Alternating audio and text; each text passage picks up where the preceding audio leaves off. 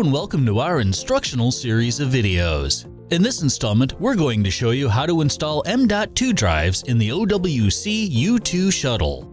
We've already gathered our materials and are working on a soft static-free work surface. We're now ready to begin.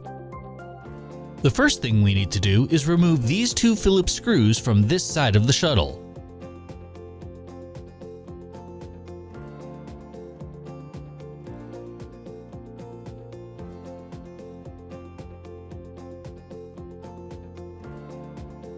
As well as these two on the other side.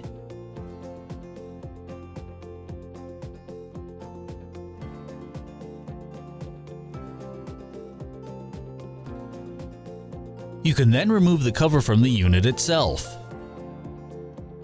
You can install up to four M.2 SSDs in the U2 shuttle. You'll need to remove the Phillips retaining screw that corresponds to a slot you wish to install a drive in. For this video, we're going to install M.2 drives in all four slots, so we're going to remove all four screws.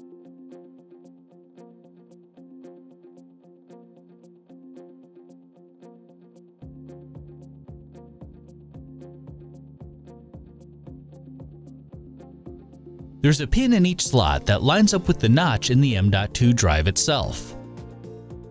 Align the two and slide the drive into the slot until it's fully seated. Then, secure the drive into place with one of the Phillips retaining screws you removed earlier. Repeat the process for any other drives you need to install. On the bottom of the heatsink, there's a thermal pad which will come into contact with the drives when the unit is assembled. This may cause the heatsink to be raised slightly when trying to line up the screws. You can resolve this by pressing down on the heatsink as you replace the four screws you removed earlier, two on each side.